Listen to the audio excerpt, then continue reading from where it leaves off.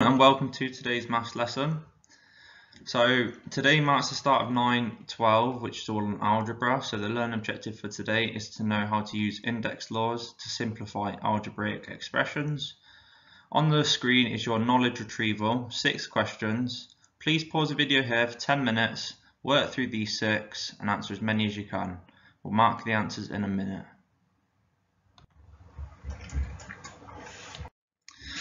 Okay guys, so here's your answers. So again, please pause the video here, mark these answers.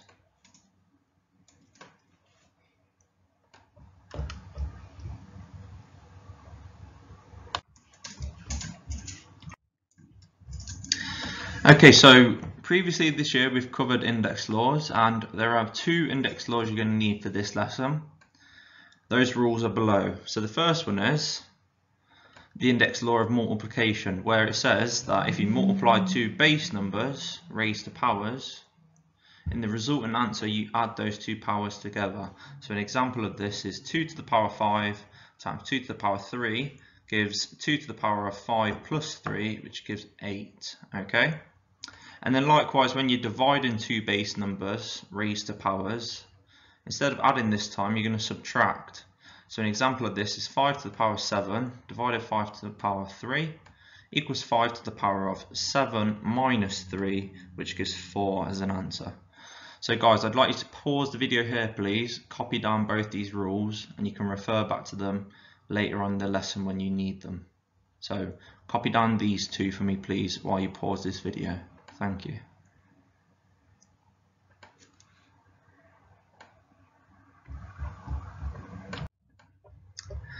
Okay, so we've got example one and example two here. So I'll go through the I do. I'll ask you to pause it and then copy down the we do as well, please. So for the first one, we've got 5d times 3e times 2. And I like to break this down to two steps, which you can see in the success criteria here. My first step is to multiply or divide any numbers. So First off, I'm going to do 5 times 3 times 2 to start this off.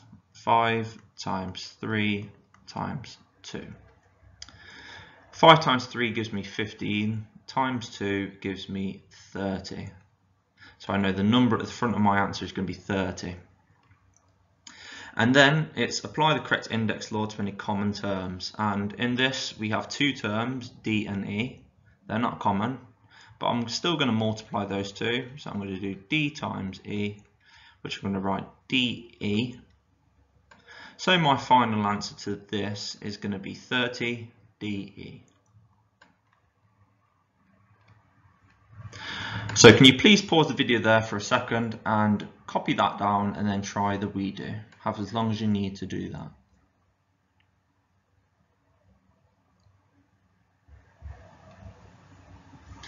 Right, apologies, I just accidentally drew on this screen, I'll just rub that off. Okay guys, hopefully you've unpaused the video, you've had a go at this, I'll go through it and give you my answer.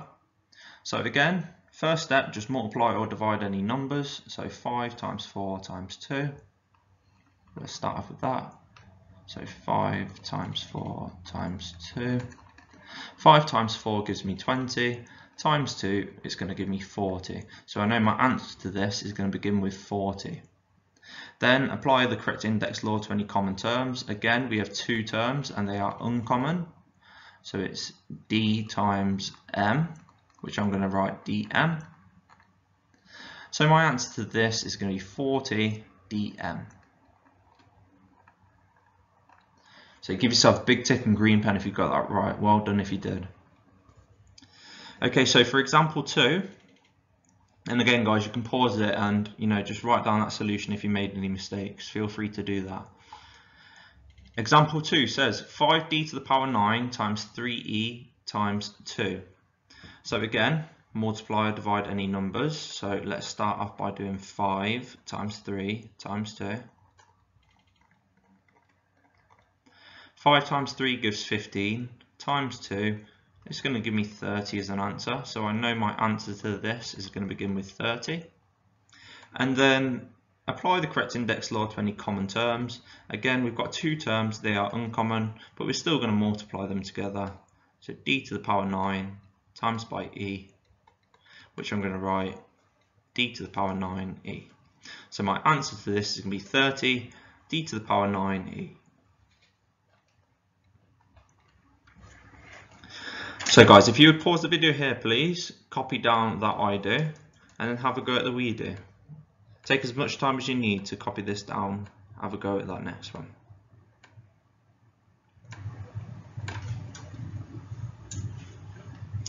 Okay, so hopefully you've had a go, you've paused the video and you've had a go at this we do. So first step again should be multiplying these numbers, 5 times 4 times 2.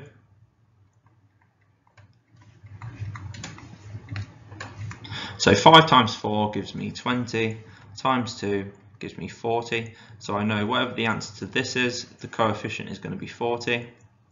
And then apply the correct index law to any common terms, but we've just got uncommon terms. We've got d and we've got m to the power 7.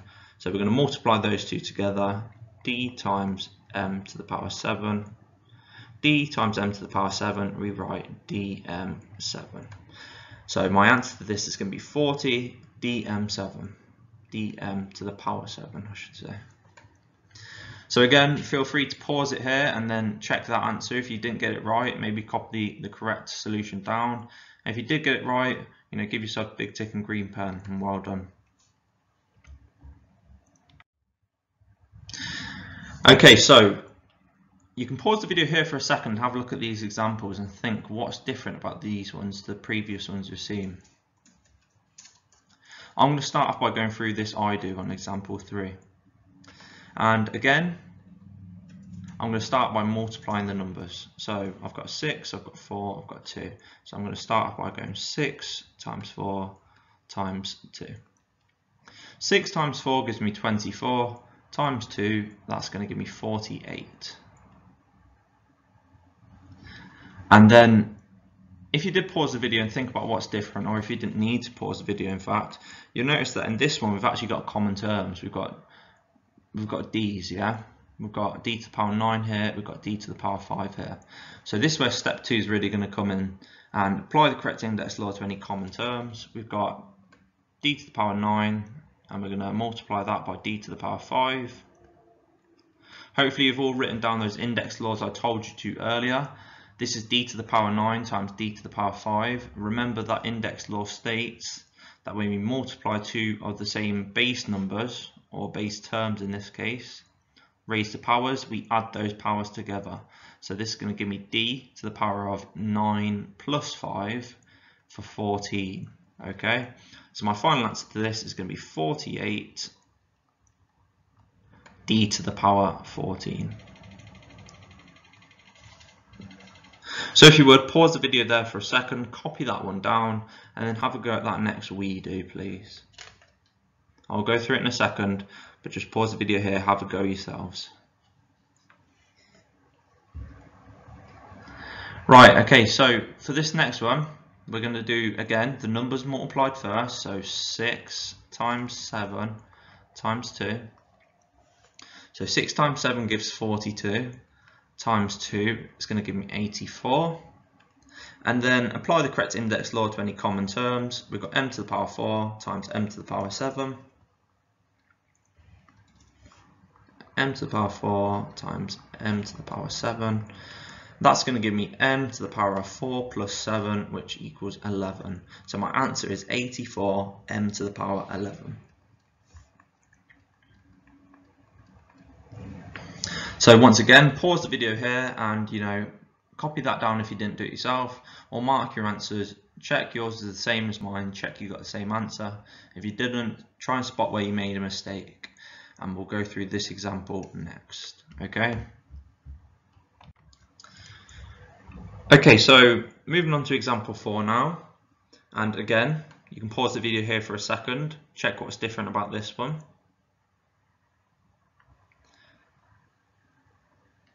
And if you have checked what's different, it might have appeared to you that, you know, we've got a negative power in here. Also in the end, we've got a D just on its own. Now, an important thing to remember is when we've got this D on its own, that essentially means D to the power 1.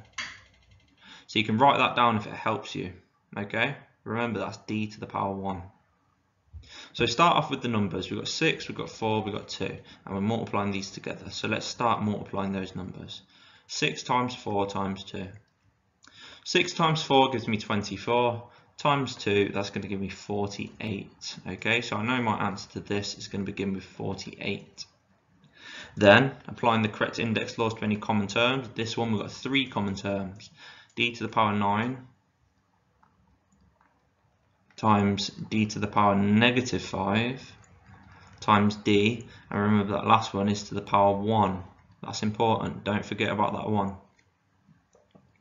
So this is going to give me d to the power of 9 plus negative 5, which subtracts, so we're going to have 9 take away 5, which is 4 plus that 1 is going to give me d to the power 5 okay? So 48 d to the power 5 so once again just pause the video here copy down that and then have a go at that we do yourself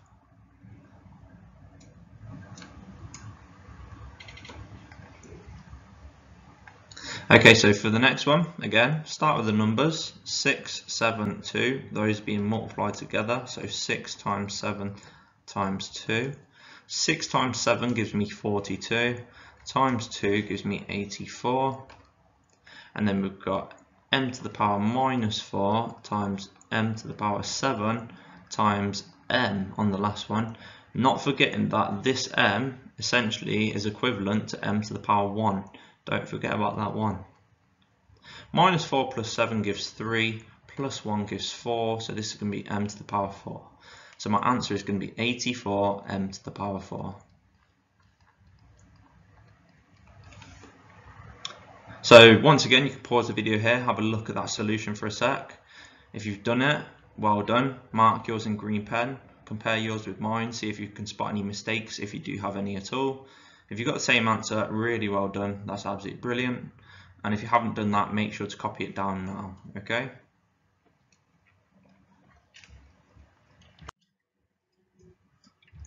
Right, okay, so we'll do our last two last two examples, then I'll give you some questions to practice yourselves. So once again, start with the numbers 5 and 3. Let's multiply those two together. 5 times 3 gives 15. So I know my answer is going to begin with a 15. I've got d to the power negative 9 times by d to the power 5.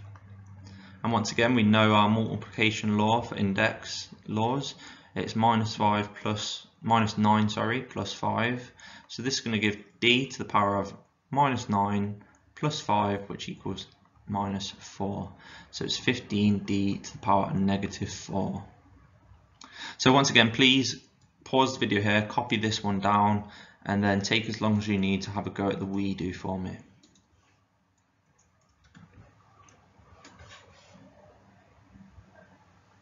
okay so for the we do Start with the numbers again. We've got 5 and we've got 4. The coefficients, I should say, that is the correct term. So 5 times 4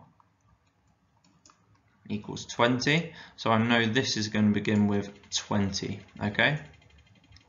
Then I've got m to the power 4 times m to the power negative 7. So m to the power of negative 4 plus negative 7, which is going to give negative 3. So this equals 20m um, to the power of negative 3. Really well done if you got that right yourself. Pause the video here, copy that down or mark that in green pen.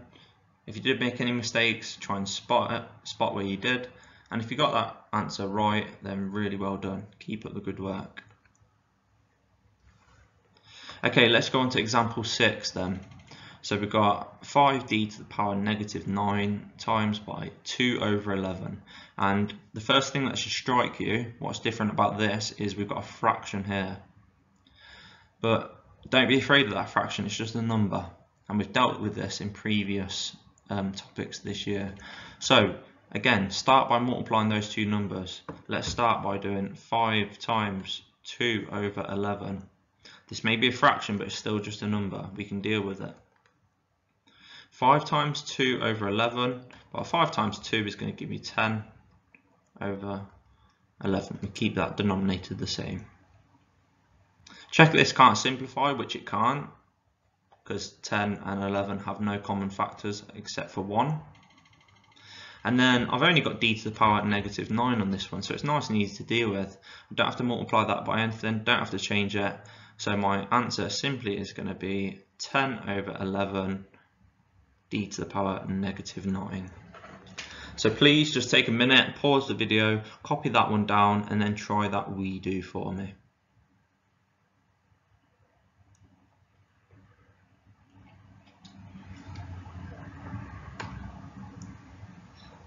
Okay, so hopefully at this stage you've taken a minute, you've had a go at this. So it's 2 over 11 times 4 to start off with. I'm just multiplying the numbers first, as we always do. So do the 4 times the 2, which gives 8 in the numerator. We keep the denominator the same, which is 11. And then in terms of terms, algebraic terms, we've only got m to the power negative 7. So we can just keep that the same. Our answer is going to be 8 over 11 m to the power negative 7. So once again, pause the video here, you know, check you've got that answer. If you haven't, look at my work and see what you did differently and correct it. But if you have got these right and you have been following along, you know, you're doing really well, keep it up and we'll give you some questions to practice in a minute. Okay, so here's question one, here's question two. So if you can, please pause the video here and take as long as you need to work through these questions, okay?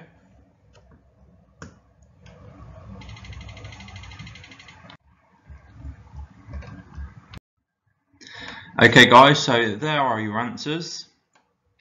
So please, once again, pause the video here, mark those answers, mark as many as you've done, and then give yourself a score out of however many you've done as well.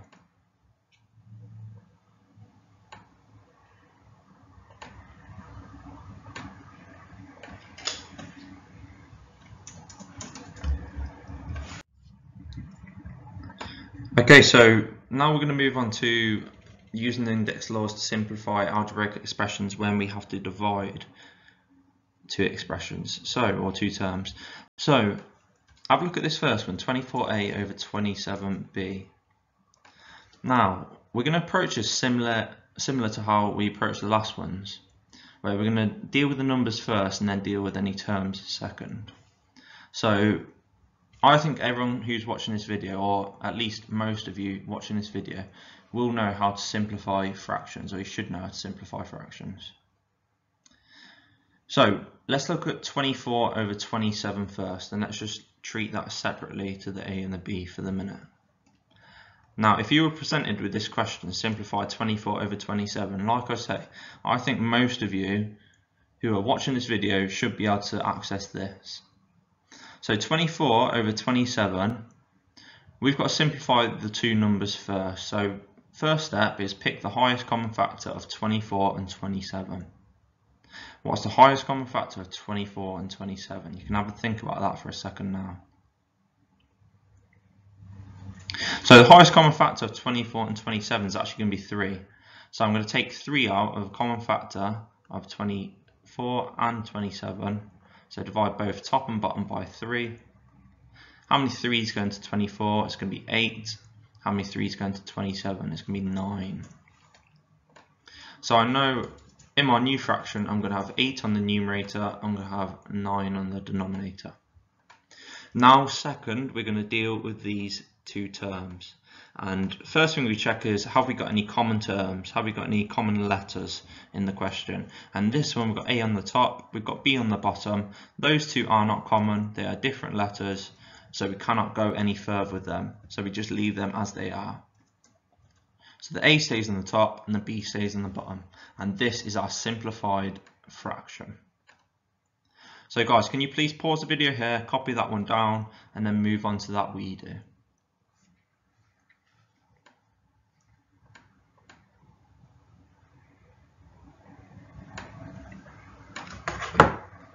Okay, so 18a over 27b. Hopefully you've had a go at this now.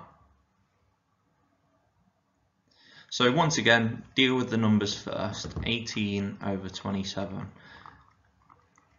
And like I say, I feel like we should be confident with simplifying fractions. If we saw this if we see this question, sometimes we get intimidated, but if we see this, we know how to do it easily. They're very similar. 18 and 27, what's the highest common factor of those two numbers? Hopefully most of you are able to identify that the highest common factor of those two is going to be 9. So I'm going to divide top and bottom by 9.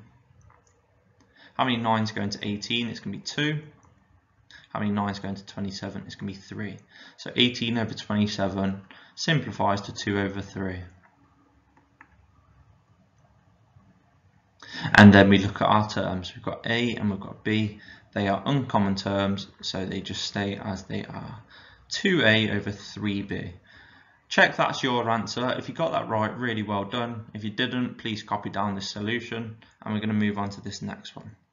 So pause it until you're ready to do so.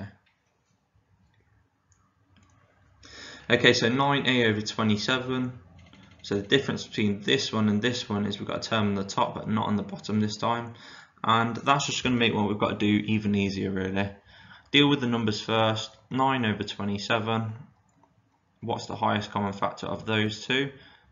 Have a think for a moment. And yes, it's going to be 9. Well done if you said that. So divide top and bottom by 9. How many 9s go into 9? It's going to be 1. How many 9s go into 27? It's going to be 3. So 9 over 27 simplifies to 1 over 3 and then deal with the terms. And have we got any common terms on the top and the bottom? No we do not. We've only got an a on the top nothing on the bottom. So we just leave that a up there. So I'm going to write 1a over 3 and you could of course represent this as a over 3 which is exactly the same thing. So really well done if you've done that as well Okay, pause the video there, make sure you copy that one down and then go on to this we do please. Okay, so for the we do, we've got 27 over 3b. So again, deal with the numbers first. 27 over 3. Identify the highest common factor, and it's going to be 3. Now, obviously, there's a different way to do this. Remember that fraction is just division. The top number is divided by the bottom number. So you could simplify this to 9 over 1 by saying how many 3's go into 27, 9, how many 3's go into 3, 1. But also just remember that 27 over 3 is just 27 divided by 3, which just gives me 9 as an answer. So I can in fact just write this as 9, but then we've got this b on the bottom which presents a little bit of trouble. Because there's nothing on the top that I can cancel this b with, I'm going to write it as 9 over 1 and then I'm just going to leave that b alone okay so it's 9 over 1b which is the same as 9 over b but if you did the other way and did 27 divided by 3 remember that this b on the bottom of the fraction is essentially b to the power negative 1 so you could also have as an answer 9b to the power negative 1 so any one of these three answers would be correct and would suffice. So really well done if you got any one of those. Okay, let's look at some different examples. Right, okay, so let's start on the first one. 27 over 54, a to the power 5. So once again, deal with those numbers first. 27 over 54 now you might have to do this in steps if you're not really confident on your numbers and say, you know, what's a common factor of 27 and 54, preferably picking a prime number if you're doing it in steps. But I'm quite confident on my numbers and I know that the highest common factor of these two, well, try and spot it. 27 is half of 54, yeah? So I can take out 27 as a common factor. So how many 27s going to 27? That's going to be 1.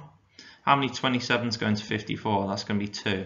So I can simplify this to 1 over 2 to begin with.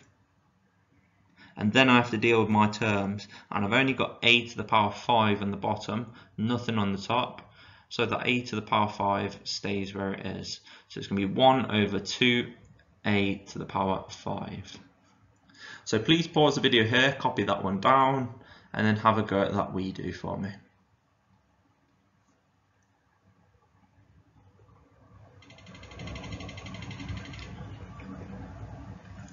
Okay, so 9 over 54, a to the power 5.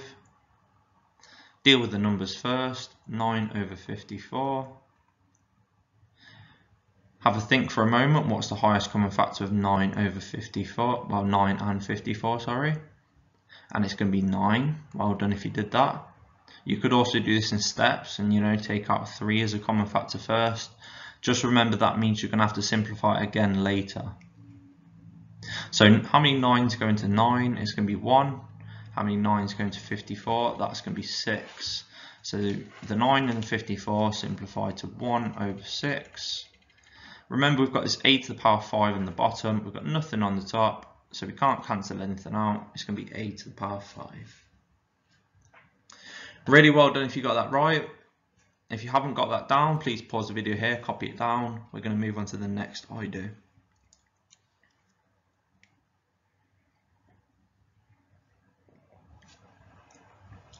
Okay, so 12 a to the power 9 over 54 a to the power 5. Have a think for a minute, what's different about this question to what we've seen in all the previous questions? Just have a think about that for a moment. And you would be correct if you said that we've got actually, we've got a common letter on the top and the bottom, we've got a common term.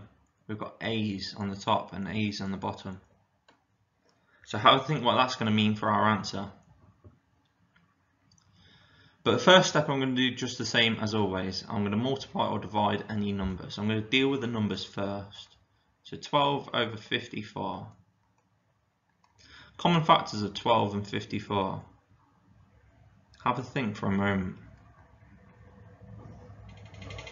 And I'm thinking for a minute the highest one's going to be 6, okay? So the highest common factor of those two is going to be 6.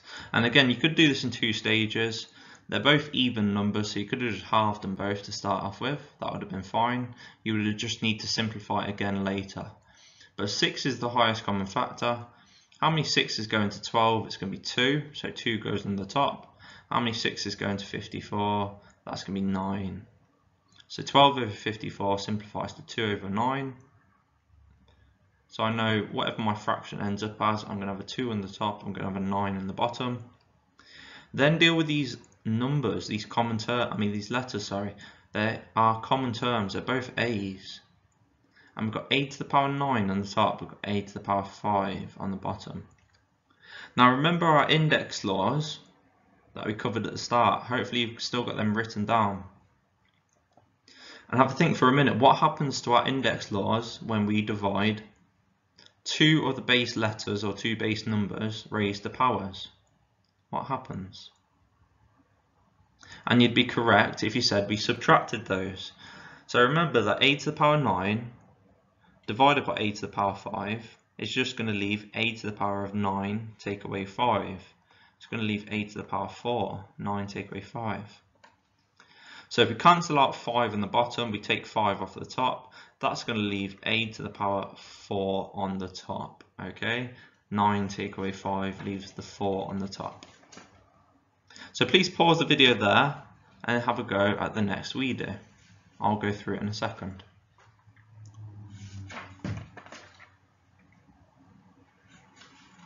Okay, so we've got 12a to the power 9 over 14a to the power 4.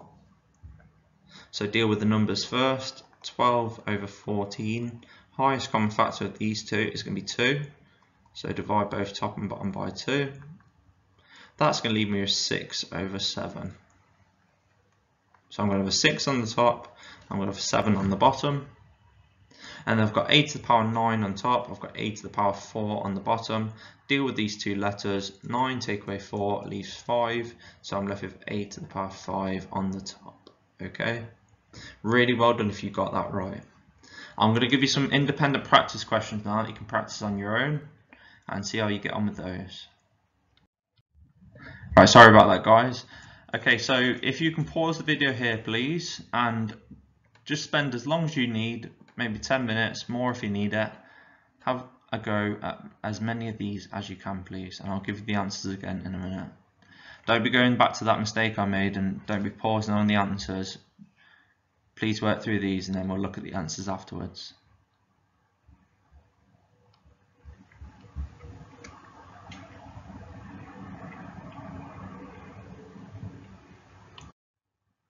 Okay, and there's your answers, guys. So if you would, again, please pause the video here, mark your answers, mark them in green pen, give yourself a score out of however many you did.